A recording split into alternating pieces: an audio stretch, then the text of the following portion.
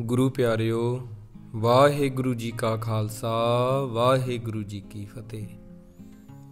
ਸੋ ਦੁਨੀਆ ਦੇ ਵਿੱਚ, ਲਗਭਗ ਹਰ ਦੇਸ਼ ਦੇ ਵਿੱਚ ਨਵਾਂ ਸਾਲ ਮਨਾਇਆ ਜਾਂਦਾ।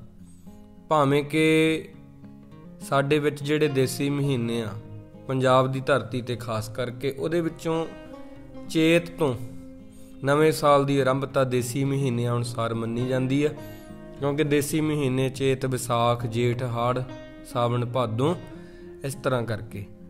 ਪਰ ਹੁਣ ਸਾਰੇ ਹੀ ਇਸ ਨੂੰ ਨਵਾਂ ਸਾਲ ਕਹਿੰਦੇ ਆ। ਤਾਂ ਸਾਨੂੰ ਕਿਵੇਂ ਮਨਾਉਣਾ ਚਾਹੀਦਾ ਨਵਾਂ ਸਾਲ? ਆਓ ਨਵੇਂ ਸਾਲ ਵਿੱਚ ਕਿੰਨਾ ਗੱਲਾਂ ਦਾ ਸਾਨੂੰ ਖਿਆਲ ਰੱਖਣਾ ਚਾਹੀਦਾ ਹੈ? ਇਹ ਕੁਝ ਗੱਲਾਂ ਹਨ ਐਵੇਂ ਮਨਾਓ ਨਵਾਂ ਸਾਲ। ਤਾਂ ਆਓ ਜੀ, ਸਰਵਣ ਕਰੀਏ। 2024 ਆ ਰਿਹਾ ਹੁਣ ਅੱਗੇ ਤੇ 2023 ਲੰਘ ਜਾਵੇਗਾ। ਸਾਨੂੰ ਇਹਦੇ ਵਿੱਚ ਕਿਹੜੀਆਂ ਖਾਸ ਗੱਲਾਂ ਦਾ ਧਿਆਨ ਰੱਖਣਾ ਚਾਹੀਦਾ, ਕਿਵੇਂ ਮਨਾਉਣਾ ਚਾਹੀਦਾ, ਤਾਂ ਉਹਦੇ ਬਾਰੇ ਹੀ ਆਪਾਂ ਜ਼ਿਆਦਾ ਗੱਲ ਕਰਾਂਗੇ। ਕਿਉਂਕਿ ਸਾਰੇ ਜਾਣੇ ਇੱਕ ਦੂਜੇ ਨੂੰ ਆਪਾਂ ਅੱਜ ਕੱਲ ਡਿਜੀਟਲ ਜ਼ਮਾਨਾ ਹੈ। ਜਾਂ ਫੋਨ ਲਾ ਕੇ ਜਾਂ ਫਿਰ ਮੈਸੇਜ ਰਾਹੀਂ ਆਪਾਂ ਕਿਸੇ ਨੂੰ ਨਵੇਂ ਸਾਲ ਦੀਆਂ ਮੁਬਾਰਕਾਂ ਦਿੰਨੇ ਆ। ਕੁਝ ਘਰ ਜਿਹੜੇ ਆ ਇੱਕ ਦੂਜੇ ਨਾਲ ਤੋਹਫੇ ਜਾਂ ਮਠਿਆਈਆਂ, ਇਹ ਵੀ ਇੱਕ ਦੂਜੇ ਨਾਲ ਵੰਡਦੇ ਆ, ਸਾਂਝੀਆਂ ਕਰਦੇ ਆ। ਪਰ ਆਪਾਂ ਆਪਣੀ ਜ਼ਿੰਦਗੀ ਨੂੰ ਸਵਾਰਨ ਲਈ ਕੀ ਕਰ ਸਕਦੇ ਹਾਂ? ਉਹਦੇ ਲਈ ਆਪਾਂ ਦੇਖਣਾ। ਸਭ ਤੋਂ ਪਹਿਲਾਂ ਜਦੋਂ ਨਵਾਂ ਸਾਲ ਆਵੇਗਾ ਨਾ, ਤੇ ਉਸ ਵਕਤ ਤੁਸੀਂ ਕਹਿਣਾ, ਦੇਖੋ ਬਹੁਤ ਸਾਰੇ ਸਰੀਰ ਸੀਗੇ ਜਿਹੜੇ ਆਹ ਸਾਲ ਦੇਖ ਨਹੀਂ ਸਕੇ। ਸਾਡੇ ਹੀ ਆਸੇ-ਪਾਸੇ ਲੋਕ ਉਹਨਾਂ ਨੂੰ ਦੁਨੀਆ ਤੋਂ ਜਾਣਾ ਪੈ ਗਿਆ। ਜੇ ਤੁਹਾਨੂੰ 2024 ਦੇਖਣ ਦਾ ਮੌਕਾ ਮਿਲ ਰਿਹਾ, ਮਤਲਬ ਕਿ ਰੱਬ ਦੀ ਤੁਹਾਡੇ ਤੇ ਬਹੁਤ ਕਿਰਪਾ। ਸ਼ੁਕਰਾਨਾ ਕਰੋ ਪ੍ਰਮਾਤਮਾ ਦਾ ਕਿ ਤੁਹਾਨੂੰ ਨਵਾਂ ਸਾਲ ਦੇਖਣ ਦਾ ਮੌਕਾ ਮਿਲ ਰਿਹਾ। ਹੁਣ ਨਵੇਂ ਸਾਲ ਦੇ ਵਿੱਚ ਬਹੁਤ ਕੁਝ ਅਸੀਂ ਸੋਚਿਆ ਹੁੰਦਾ, ਪਰ ਸਾਲ ਦੇ ਅਖੀਰ ਤੱਕ ਉਹਨੂੰ ਸੋਚਦੇ ਤਾਂ ਸਾਰੇ ਹੀ ਆ 10% ਲੋਕ ਮਸਾਂ ਹੀ ਕਰ ਪਾਉਂਦੇ ਆ। ਤੇ ਜਿਹੜੇ 1% ਹੁੰਦੇ ਆ 1% ਲੋਕ ਹੁੰਦੇ ਆ, ਉਹ ਜਿੰਦ ਜਾਨ ਇੱਕ ਕਰ ਦਿੰਦੇ ਆ, ਜੋ ਉਹਨਾਂ ਨੇ ਸੋਚਿਆ ਹੁੰਦਾ।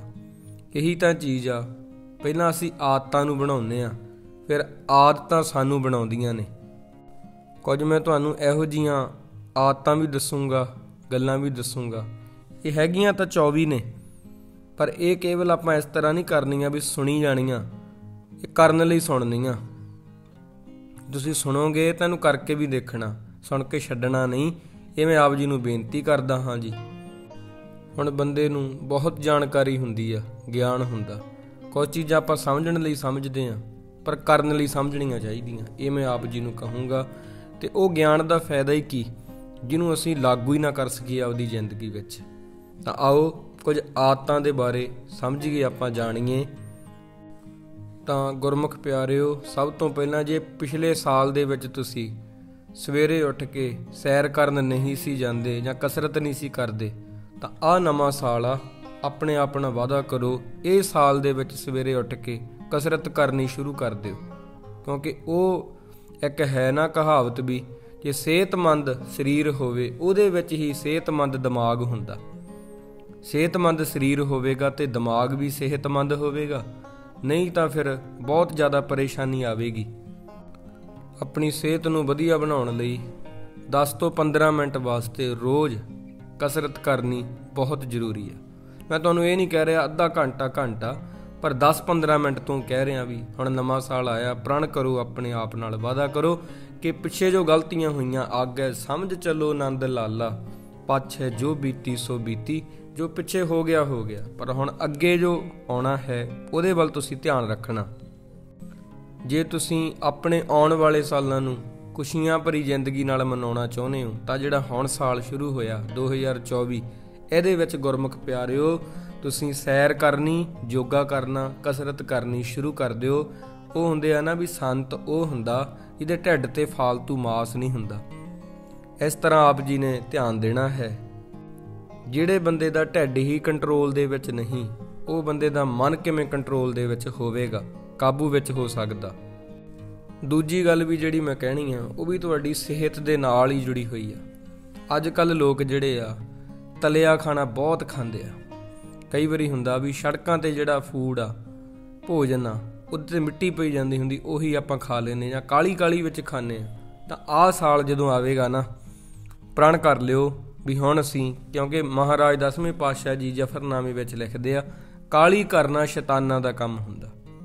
ਆ ਰੋਟੀ ਜਿਹੜੀ ਆ, ਭੋਜਨ ਜਪੀਏ, ਨਾਮ ਜਪੀਏ ਅੰਨ, ਅੰਬੇ ਕੈ ਸੰਗ ਨੀਕਾ ਬਨ ਗੁਰਮੁਖ ਪਿਆਰਿਓ, ਬੜੀ ਅਦਬ ਸਤਕਾਰ ਦੇ ਨਾਲ ਅਸੀਂ ਆ ਜਿਹੜਾ ਸਾਲ ਆ ਪਰਿਵਾਰ ਵਿੱਚ ਬੈਠ ਕੇ ਪ੍ਰੇਮ ਸਹਿਤ ਸ਼ਾਂਤ ਮਨ ਦੇ ਨਾਲ ਭੋਜਨ ਛਕਾਂਗੇ, ਕਿਉਂਕਿ ਜਿਹੋ ਜਿਹਾ ਅਸੀਂ ਭੋਜਨ ਖਾਵਾਂਗੇ, ਉਹੋ ਜਿਹਾ ਸਾਡਾ ਸਰੀਰ ਹੋ ਜਾਏਗਾ।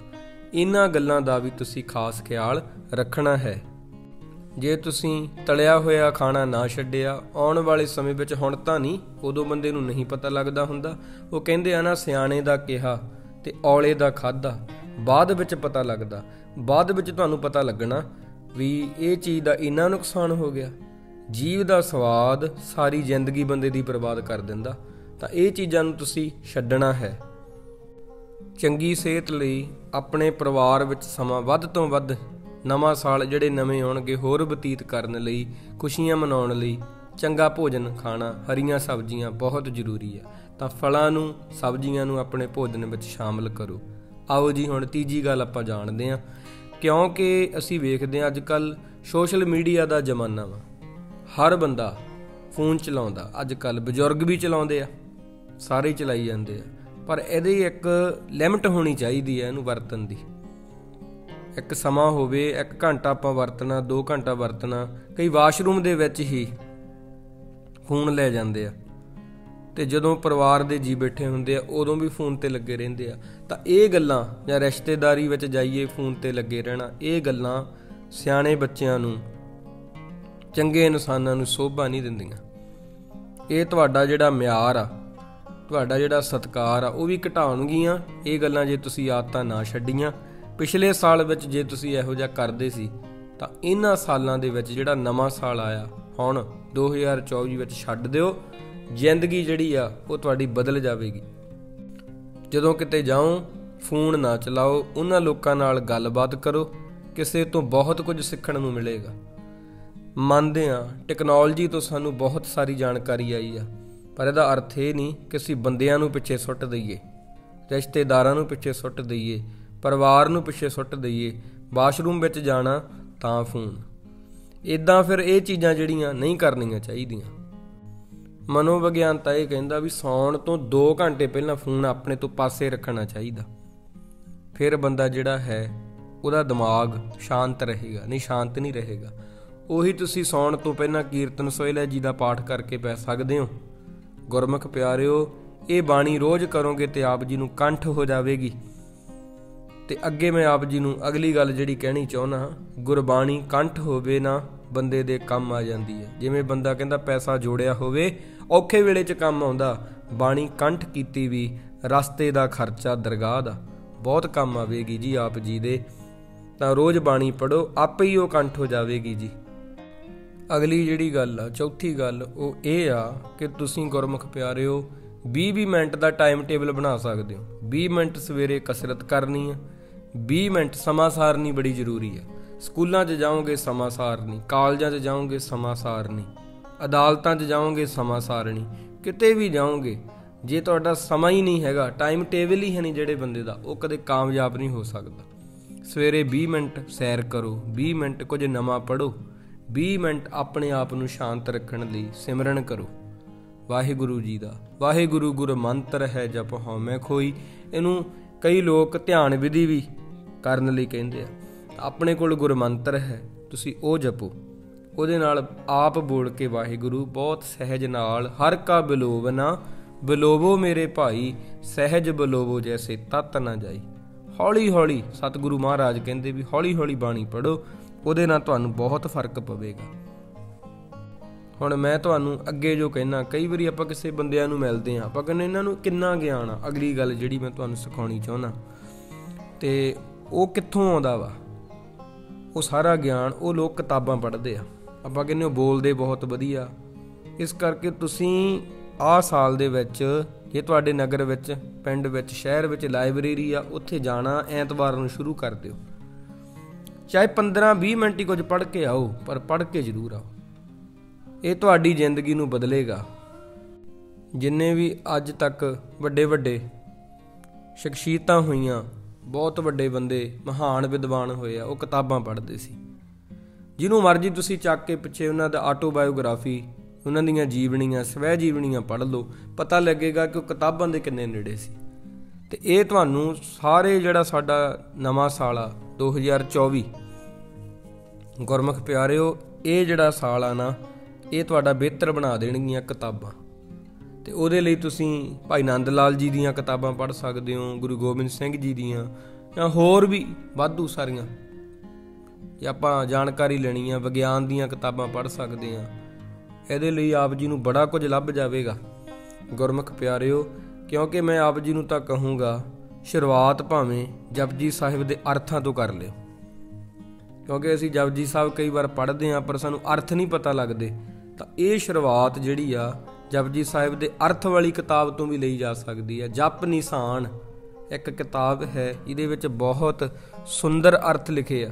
ਜਪਜੀ ਸਾਹਿਬ ਬਾਰੇ, ਤਾਂ ਉਹ ਤੁਸੀਂ ਕਿਤਾਬ ਲਿਆ ਕੇ ਸ਼ੁਰੂਆਤ ਕਰ ਸਕਦੇ ਹੋ ਨਵੇਂ ਸਾਲ ਦੀ। ਤੇ ਇਹਨੂੰ ਅੱਗੇ ਮੈਂ ਕਹੂੰਗਾ, ਤੋਹਫੇ ਵਜੋਂ ਦੂਜਿਆਂ ਨੂੰ ਵੀ ਦੇ ਸਕਦੇ ਹੋ। ਜੋ ਆਪ ਜਪੈ, ਅਵਰੈ ਨਾਮ ਜਪਾਵੇ, ਉਹ ਕਰਮਾਂ ਵਾਲੀਆਂ ਰੂਹਾਂ ਹੁੰਦੀਆਂ, ਜਿਹੜੀਆਂ ਆਪ ਨਾਮ ਜਪਦੀਆਂ ਤੇ ਦੂਜਿਆਂ ਨੂੰ ਵੀ ਜਪਾਉਂਦੀਆਂ। ਅੱਗੇ ਮੈਂ ਤੁਹਾਨੂੰ, ਕਿਉਂਕਿ ਪੰਜ ਛੇ ਗੱਲਾਂ ਮੈਂ ਕਹਿ ਦਿੱਤੀਆਂ ਨੇ, ਸੱਤਵੀਂ ਗੱਲ ਮੈਂ ਤੁਹਾਨੂੰ ਇਹ ਕਹੂੰਗਾ, ਗੁਰਮੁਖ ਪਿਆਰਿਓ, ਕਿ ਤੁਸੀਂ ਆਪਣੀ ਰੁਚੀ ਦੇਖੋ, ਤੁਹਾਡੀ ਰੁਚੀ ਕਾਦੇ ਵਿੱਚ ਆ? ਪਛਾਣੋ ਉਹਨੂੰ। ਕਿਸ ਕੰਮ ਵਿੱਚ ਤੁਹਾਡੀ ਰੁਚੀ ਆ?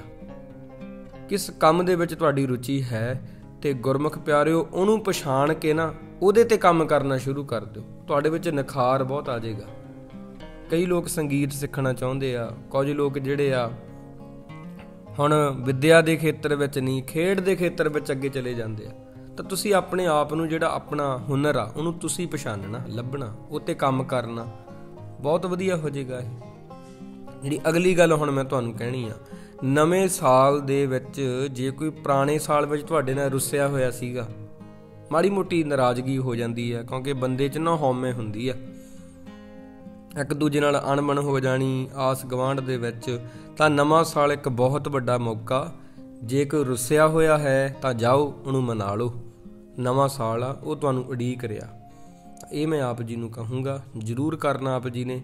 ਕਿਉਂਕਿ ਇਹ ਇਦਾਂ ਹੁੰਦੀਆਂ ਚੀਜ਼ਾਂ ਵੀ ਇੱਕ ਮੌਕਾ ਹੀ ਹੁੰਦਾ ਤੇ ਮੌਕਾ ਬੱਦਲ ਵਾਂਗ ਹੁੰਦਾ। ਲੰਘ ਜੇ ਤੇ ਉੱਡ ਜਾਂਦਾ ਹੈ। ਗੁਰਮੁਖ ਪਿਆਰਿਓ, ਤਾਂ ਜੇ ਕੋਈ ਰੁੱਸਿਆ ਨਾ ਜਾਓ। ਮੈਂ ਕਹਿ ਰਿਹਾ ਵੀ ਜਿਵੇਂ ਬੱਚਾ ਮਾਂ ਨਾਲੋਂ ਰੁੱਸ ਕੇ ਵੱਧ ਪਿਆਰ ਲਈ ਤਰਲਾ ਕਰ ਰਿਹਾ ਹੁੰਦਾ, ਉਵੇਂ ਹੀ। ਜੇ ਕੋਈ ਰੁੱਸਿਆ ਹੈ, ਤਾਂ ਉਹਨੂੰ ਮਨਾ ਲਓ ਜੀ ਜਾ ਕੇ। ਤੇ ਜ਼ਰੂਰ ਉਹ ਮੰਨ ਜਾਏਗਾ ਇਹ ਵੀ ਮੈਂ ਤੁਹਾਨੂੰ ਨਾਲ ਇਹ ਇੱਕ ਦਾਵਾ ਕਰਦਾ ਵੀ ਜੇ ਉਹ ਰੁੱਸਿਆ ਹੋਇਆ ਅੱਜ ਦੇ ਦਿਨ, ਨਵੇਂ ਸਾਲ ਵਾਲੇ ਦਿਨ, ਉਹਨੂੰ ਕਹਿਣਾ, ਦੇਖ ਭਾਈ, ਜ਼ਿੰਦਗੀ ਦੇ ਜਿਹੜੇ ਸਾਲ ਸੀ, ਅਸੀਂ ਇਕੱਠਿਆਂ ਨੇ ਲੰਘਾਏ ਆ। ਜਿਹੜਾ ਅਗਲਾ ਸਾਲ ਜਿਹੜਾ ਅੱਜ ਆਇਆ ਨਾ 2024 ਇਹ ਮੈਂ ਤੇਰੇ ਨਾਲ ਲੰਘਾਉਣਾ ਚਾਹੁੰਦਾ। ਆਪਣੇ ਦੋਸਤ ਮਿੱਤਰਾਂ ਨੂੰ ਅਸੀਂ ਖੁੱਲ ਕੇ ਗੱਲ ਦਿਲ ਦੀ, ਪਰ ਦਿਲ ਤੋਂ ਕਿਉਂ? ਜ਼ਰੂਰ ਤੁਹਾਨੂੰ ਮਾਫ ਕਰ ਦੇਗਾ। ਤਾਂ ਇਹ ਚੀਜ਼ ਜਿਹੜੀ ਆ, ਇਹ ਜ਼ਰੂਰ ਕਰ ਲਿਓ।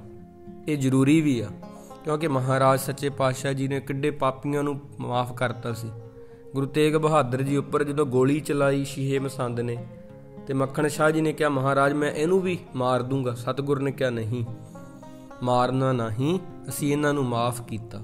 ਤਾਂ ਤੁਸੀਂ ਭਾਈ, ਸਾਡਾ ਗੁਰੂ ਏਡੇ ਵੱਡੇ ਪਾਪੀਆਂ ਨੂੰ ਮਾਫ ਕਰ ਸਕਦਾ, ਅਸੀਂ ਆਪਦੇ ਦੋਸਤਾਂ ਨੂੰ ਨਹੀਂ ਮਾਫ ਕਰ ਸਕਦੇ। ਤਾਂ ਇਹ ਚੀਜ਼ ਜ਼ਰੂਰ ਤੁਸੀਂ ਧਿਆਨ ਰੱਖਣੀ ਆ। ਤਾਂ ਆਓ ਆਪਾਂ ਅਗਲੀ ਗੱਲ ਵੱਲ ਹੁਣ ਵਧਦੇ ਹਾਂ ਕਿਉਂਕਿ ਗੱਲਾਂ ਤਾਂ ਬਹੁਤ ਨੇ, ਪਰ ਜ਼ਿੰਦਗੀ ਵਿੱਚ ਅਸੀਂ ਕਿਵੇਂ ਇਹਨਾਂ ਨੂੰ ਕਰ ਸਕਦੇ ਹਾਂ, ਲਾਗੂ, ਉਹਦੇ ਤੇ ਧਿਆਨ ਵੀ ਦੇਣਾ। ਅਗਲੀ ਗੱਲ ਤਾਂ ਇਹੀ ਹੋ ਸਕਦੀ ਆ ਵੀ ਜਿਹੜਾ ਗਿਆਨ ਆਪਾਂ ਪਿਛਲੇ ਸਾਲਾਂ 'ਚ ਜਾਣਿਆ ਹੈ, ਉਹਨੂੰ ਅਮਲ 'ਚ ਲੈ ਕੇ ਆਉਣਾ। ਜੇ ਅਮਲ 'ਚ ਨਾ ਲਿਆਂਦਾ, ਤੇ ਫਿਰ ਤਾਂ ਕੋਈ ਗੱਲ ਨਾ ਨਾ ਬਣੀ। ਫਰੀਦਾ ਅਮਲ ਜੇ ਕੀਤੇ ਦੁਨੀ ਵਿੱਚ ਦਰ ਗਿਆ ਇਹ ਕੰਮ। ਮੈਂ ਸਾਰੀ ਜ਼ਿੰਦਗੀ ਗਿਆਨ ਹੀ ਇਕੱਠਾ ਕਰਦਾ ਰਿਹਾ, ਜਾਂ ਕਿਤਾਬਾਂ ਹੀ ਪੜ੍ਹਦਾ ਰਿਹਾ, ਪਰ ਜਦੋਂ ਉਹਨਾਂ ਨੂੰ ਲਾਗੂ ਕਰਨ ਦੀ ਗੱਲ ਆਈ, ਉਦੋਂ ਮੈਂ ਨਸ ਗਿਆ। ਤਾਂ ਇਹ ਤਾਂ ਗੱਲ ਬਣੀ ਨਹੀਂ ਨਾ ਕੋਈ। ਤਾਂ ਗੁਰਮੁਖ ਪਿਆਰਿਓ, ਸਤਿਗੁਰੂ ਮਹਾਰਾਜ, ਅੱਗੇ ਅਰਦਾਸ ਕਰੋ, ਜਿਹੜਾ ਗਿਆਨ ਮੈਨੂੰ ਦਿੱਤਾ ਹੈ, ਹਾਰ ਪਰਿਓ ਸੁਆਮੀ ਕੈ ਦਵਾਰੇ ਦੀਜੇ ਬੁੱਧ ਵਿਵੇਕਾ। ਤਾਂ ਮੈਂ ਉਹਨੂੰ ਲਾਗੂ ਕਰ ਸਕਾਂ ਆਪਣੀ ਜ਼ਿੰਦਗੀ 'ਚ।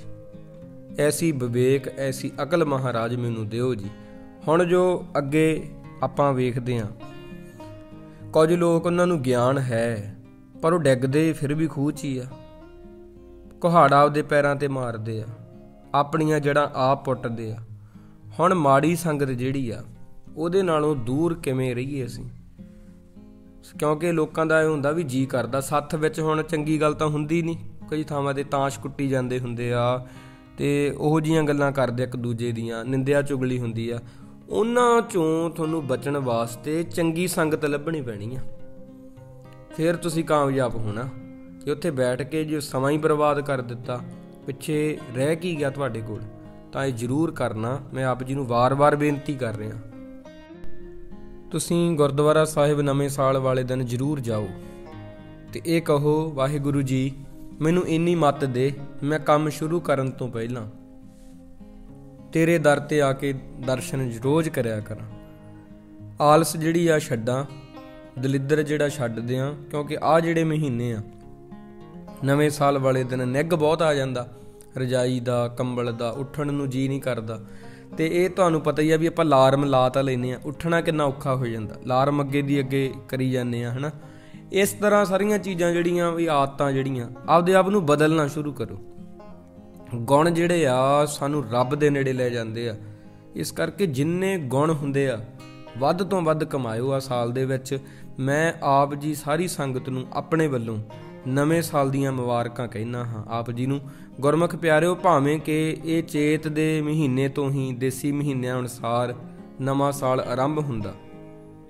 ਕਿਉਂਕਿ ਗੁਰੂ ਸਾਹਿਬ ਦੇ ਵਿੱਚ ਚੇਤ ਨੂੰ 12 ਮਾਹਾਂ ਦਾ ਪਹਿਲਾ ਮਹੀਨਾ 12 ਮਹੀਨਿਆਂ ਦਾ ਪਹਿਲਾ ਮਹੀਨਾ ਚੇਤ ਆ। ਤੇ ਉਦੋਂ ਨਵਾਂ ਸਾਲ ਹੁੰਦਾ ਵਾ। ਪਰ ਇਹਦੇ ਵਿੱਚ ਹੁਣ ਇਹ ਆ ਵੀ ਬਹੁਤ ਸਾਰਾ ਭਾਈਚਾਰਾ ਇਸੇ ਨੂੰ ਹੀ ਨਵਾਂ ਸਾਲ ਮਨਾਉਂਦਾ। ਉਹਨਾਂ ਦੀਆਂ ਭਾਵਨਾਵਾਂ ਇਹਦੇ ਨਾਲ ਜੁੜੀਆਂ ਹੁੰਦੀਆਂ, ਸ਼ਰਧਾ ਜੁੜੀ ਹੁੰਦੀ ਹੈ ਇੱਕ ਦੂਜੇ ਨਾਲ। ਉਹ ਮੈਸੇਜ ਭੇਜਣੇ ਫੋਨ ਕਰਕੇ ਉਹਨਾਂ ਨੂੰ ਸ਼ੁਭ ਕਾਮਨਾਵਾਂ ਦੇਣੀਆਂ, ਵਧਾਈਆਂ ਦੇਣੀਆਂ ਨਵੇਂ ਸਾਲ ਦੀਆਂ। ਤਾਂ ਮੈਂ ਆਪ ਜੀ ਨੂੰ ਸਾਰੀ ਸੰਗਤ ਨੂੰ ਵਧਾਈਆਂ ਦਿੰਨਾ ਤੇ ਅਰਦਾਸ ਕਰਦਾ ਮਾਲਕ ਅੱਗੇ ਕਿ ਤੁਸੀਂ ਜ਼ਿੰਦਗੀ ਵਿੱਚ ਅੱਗੇ ਵਧੋ। ਤੇ ਗੁਰਮੁਖ ਪਿਆਰਿਓ, ਮਹਾਰਾਜ ਤੁਹਾਨੂੰ ਬਲ ਦੇਣ। ਤੁਸੀਂ ਜੋ ਵੀ ਤੁਹਾਡਾ ਸੁਪਨਾ ਹੈ, ਚੰਗਾ ਸੁਪਨਾ। ਜੋ ਵੀ ਤੁਹਾਡਾ ਹੈ, ਜੋ ਗੁਰਬਾਣੀ ਅਨੁਸਾਰ, ਆਸ਼ੇ ਅਨੁਸਾਰ ਢੁਕਮਾ ਉਹ ਤੁਹਾਡਾ ਜ਼ਰੂਰ ਪੂਰਾ ਹੋਵੇ। ਤੇ ਮੈਂ ਇਹ ਵੀ ਆਪ ਜੀ ਨੂੰ ਕਹੂੰਗਾ ਕਿ ਇਹ ਜਿਹੜਾ ਨਵਾਂ ਸਾਲ ਆ, ਇਹ ਬੱਚਿਆਂ ਦੇ ਨਾਲ ਮਨਾਓ, ਆਪਦੇ ਪਰਿਵਾਰ ਦੇ ਨਾਲ ਮਨਾਓ। ਕੰਮ ਕਰ ਤਾਂ ਆਪਾਂ ਕਰਦੇ ਹੀ ਆ, ਬਹੁਤਿਆਂ ਨੂੰ ਤਾਂ ਇਸ ਦਿਨ ਨਵੇਂ ਸਾਲ ਦੀ ਛੁੱਟੀ ਹੁੰਦੀ ਆ। ਕੁਝ ਕੰਮ ਐਸੇ ਆ, ਜਿਵੇਂ ਸਕੂਲ ਵਿੱਚ ਕਰਨ ਵਾਲੇ, ਉਹਨਾਂ ਨੂੰ ਛੁੱਟੀ ਹੁੰਦੀ ਆ। ਕੁਝ ਥਾਵਾਂ ਤੇ, ਕੋਈ ਥਾਵਾਂ ਤੇ ਛੁੱਟੀ ਨਹੀਂ ਹੁੰਦੀ। ਤੁਸੀਂ ਸ਼ਾਮ ਨੂੰ ਬੱਚਿਆਂ ਨਾਲ ਮਨਾ ਸਕਦੇ ਨਵਾਂ ਸਾਲ ਜਿਹੜਾ ਹੈ ਇਹ ਉਹ ਦਿਨ ਆ 365 ਦਿਨਾਂ ਵਿੱਚੋਂ ਜਿਹੜਾ ਸਾਡੀ ਜ਼ਿੰਦਗੀ ਦਾ ਬਹੁਤ ਖਾਸ ਦਿਨ ਹੁੰਦਾ। ਤਾਂ ਇਹ ਜਿਹੜੀ ਸਰਦੀ ਆ, ਇਹਦੇ ਵਿੱਚ ਅਸੀਂ ਗਰੀਬ ਘਰਾਂ ਦੇ ਬੱਚਿਆਂ ਨੂੰ ਜੋੜੇ ਲੈ ਕੇ ਦੇ ਸਕਦੇ ਆ ਇਹਦੇ ਵਿੱਚ ਅਸੀਂ ਜਿਹੜੇ ਛੋਟੇ-ਛੋਟੇ ਬੱਚੇ ਆ, ਉਹਨਾਂ ਨੂੰ ਦਾਖਲਾ ਸਕੂਲ ਵਿੱਚ ਕਰਵਾ ਸਕਦੇ ਆ ਕਾਪੀਆਂ ਲੈ ਕੇ ਦੇ ਸਕਦੇ ਆ ਜਿੰਨੀ ਤੁਹਾਡੀ ਆਮਦਨ ਆ, ਉਸ ਹਿਸਾਬ ਨਾਲ ਦੇ ਸੰਬੰਧ ਦੇਣਾ। ਮੈਂ ਆਪ ਜੀ ਨੂੰ ਕਹਿ ਰਿਹਾ, ਇਹ ਨਹੀਂ ਕਿ ਆਪਾਂ ਹੁਣ ਬਹੁਤ ਕਰਜ਼ਾ ਚੁੱਕ ਕੇ ਕਿਸੇ ਨੂੰ ਦਾਨ ਕਰੀ ਚੱਲੀਏ, ਇਸ ਤਰ੍ਹਾਂ ਵੀ ਨਹੀਂ ਹੁੰਦਾ ਹੁੰਦਾ। ਤਾਂ ਜਿੰਨੀ ਕਿ ਤੁਹਾਡੀ ਜੇਬ ਭਾਰ ਚੱਲਦੀ ਆ ਉਹਨਾਂ ਕਿ ਤੁਸੀਂ ਵਿੱਤ ਅਨੁਸਾਰ ਕਰ ਸਕਦੇ ਹੋ। ਤਾਂ ਨਵਾਂ ਸਾਲ 2023 ਜਿਹੜਾ ਹੈ, ਉਹਨੂੰ ਅਲਵਿਦਾ ਹੈ ਤੇ 2024 ਜਿਹੜਾ ਆ ਚੁੱਕਾ ਹੈ। ਮਾਲਕ ਜੀ ਕਿਰਪਾ ਕਰਨ ਤਾਂ ਇਹ ਸਾਰਾ ਦਿਨ ਜਿਹੜਾ ਹੈ, ਇੱਕ ਇੱਕ ਪਲ ਜਿਹੜਾ ਹੈ, ਅਸੀਂ ਪਿਆਰ ਨਾਲ ਲੰਘਾਉਣਾ, ਕਿਉਂਕਿ ਰੱਬ ਨੇ ਸਾਨੂੰ ਧਰਤੀ ਤੇ ਭੇਜਿਆ, ਇਸ ਧਰਤੀ ਨੂੰ ਸਵਰਗ ਬਣਾਉਣ ਲਈ ਇਹਦੇ ਆਪਾਂ ਗੰਦਗੀ ਨਹੀਂ ਪਾਉਣੀ, ਕੂੜਾ ਨਹੀਂ ਸੁੱਟਣਾ ਡਸਟਬਿਨ ਲੱਗੇ ਹੁੰਦੇ ਆ ਸ਼ਹਿਰਾਂ ਵਿੱਚ, ਉੱਥੇ ਪਾਉਣਾ ਤੇ ਗੰਦਗੀ ਨਹੀਂ ਪਾਉਣੀ ਆਪਾਂ ਬਿਲਕੁਲ ਵੀ। ਪ੍ਰਣ ਕਰਨਾ, ਸੁਥਰੀ ਧਰਤੀ ਆਪਾਂ ਹੀ ਬਣਾਉਣੀ ਆ। ਆਪਾਂ ਹੀ ਉਹ ਦੇਵਤੇ ਫਰਿਸ਼ਤੇ ਆ, ਜਿਨ੍ਹਾਂ ਨੂੰ ਰੱਬ ਨੇ ਆਸ ਲਾਈ ਸੀ ਵੀ ਇਹਨਾਂ ਨੂੰ ਧਰਤੀ ਤੇ ਭੇਜਾਂਗੇ, ਇਹ ਧਰਤੀ ਨੂੰ ਚੰਗਾ ਬਣਾਉਣਗੇ। ਆਪਣੇ ਆਪ ਨੂੰ ਇਸ ਤਰ੍ਹਾਂ ਜਾਣਨਾ ਹੈ, ਤਾਂ ਮੈਂ ਸਾਰੀ ਸੰਗਤ ਦਾ ਧੰਨਵਾਦ ਕਰਦਾ, ਜਿਨ੍ਹਾਂ ਨੇ ਬੜੇ ਪ੍ਰੇਮ ਦੇ ਨਾਲ ਇਹ ਵਿਚਾਰਾਂ ਜਿਹੜੀਆਂ ਸਰਵਣ ਕੀਤੀਆਂ। ਤੇ ਮੈਂ ਆਪ ਜੀ ਨੂੰ 10 ਚੀਜ਼ਾਂ ਬਾਰੇ ਦੱਸਿਆ ਇਹਦੇ ਵਿੱਚ। ਆਦਤਾਂ ਤਾਂ ਇਹਦੇ ਵਿੱਚ ਜੇ ਆਪਾਂ ਗਿਣਦੇ ਆ ਤੇ ਬਹੁਤ ਜ਼ਿਆਦਾ ਆਦਤਾਂ ਬਣ ਜਾਣਗੀਆਂ। ਪਰ ਗੁਰਮੁਖ ਪਿਆਰਿਓ, ਕਿਉਂਕਿ ਉਹਨਾਂ ਕੀ ਗਿਆਨ ਹਾਸਲ ਹੋ ਜੇ, ਜਿੱਤੇ ਆਪਾਂ ਅਮਲ ਕਮਾ ਸਕੀਏ, ਤਾਂ ਇੰਨਾ ਕੀ ਸਾਡੇ ਲਈ ਬਹੁਤ ਹੁੰਦਾ। ਸਾਰੀ ਸੰਗਤ ਨੂੰ ਮੈਂ ਇੱਕ ਵਾਰ ਫੇਰ ਨਵੇਂ ਸਾਲ ਦੀ ਲੱਖ ਲੱਖ ਵਧਾਈ ਦਿੰਨਾ ਤੇ ਸਾਹਿਬ ਮੇਰਾ ਨੀਤ ਨਵਾਂ, ਸਦਾ ਸਦਾ ਦਾ ਤਾਰ ਮੇਰਾ ਰੱਬ ਨਿਤ ਹੀ ਨਵਾਂ। ਮੇਰਾ ਗੁਰੂ ਨਿਤ ਹੀ ਨਵਾਂ, ਕਦੇ ਪੁਰਾਣਾ ਨਹੀਂ ਹੁੰਦਾ। ਦੁਨੀਆ 'ਚ ਬੱਚੇ ਭੇਜਦਾ, ਹਰ ਬੱਚੇ ਦੇ ਅੰਗੂਠੇ ਦਾ ਨਿਸ਼ਾਨ ਕਿਸੇ ਨਾਲ ਮਿਲਦਾ ਨਹੀਂ। ਦੇਖੋ ਗੁਰਮੁਖ ਪਿਆਰਿਓ, ਕਿਸੇ ਦਾ ਅੰਗੂਠੇ ਦਾ ਨਿਸ਼ਾਨ ਚਿਹਰਾ, ਰੰਗ, ਰੂਪ, ਆਵਾਜ਼ ਨਹੀਂ ਮਿਲਦੀ। ਉਹ ਕਿੰਨਾ ਨਵਾਂ ਹੈ ਵਾਹਿਗੁਰੂ, ਤਾਂ ਉਹਦੇ ਨਾਲ ਜੁੜਨ ਦਾ ਯਤਨ ਕਰੀਏ। ਆਓ ਜੀ, ਨਵੇਂ ਸਾਲ ਵਾਲੇ ਦਿਨ ਆ ਸ਼ਬਦ ਪੜ੍ਹ ਕੇ ਆਪਾਂ ਸਮਾਪਤੀ ਕਰਾਂਗੇ, ਕਿਉਂਕਿ ਬਾਣੀ ਹੀ ਜਿਹੜੀ ਆ, ਉਹ ਸਾਨੂੰ ਬਲ ਬਖਸ਼ਦੀ ਆ। ਬਾਣੀ ਨੇ ਹੀ ਸਾਨੂੰ ਤਾਕਤ ਦੇਣੀ ਆ। ਤਾਂ ਆਓ ਜੀ ਇੱਕ ਛੋਟਾ ਜਿਹਾ ਸ਼ਬਦ ਪੜ੍ਹ ਕੇ ਨਵੇਂ ਸਾਲ ਦੀ ਸ਼ੁਰੂਆਤ ਕਰਦੇ ਹਾਂ ਜੀ। ਗੁਰਮੁਖ ਪਿਆਰਿਓ, ਗਿਆਨ ਧਿਆਨ ਕਿਛ ਕਰਮ ਨਾ ਜਾਣਾ, ਸਾਰ ਨਾ ਜਾਣਾ ਤੇਰੀ। ਸਭ ਤੇ ਵੱਡਾ ਸਤਗੁਰ ਨਾਨਕ, ਜਿਨ ਕਲ ਰਾਖੀ ਮੇਰੀ। ਨਾਨਕ ਨਾਮ ਚੜ੍ਹਦੀ ਕਲਾ, ਤੇਰੇ ਭਾਣੇ ਸਰਬੱਤ ਦਾ ਭਲਾ।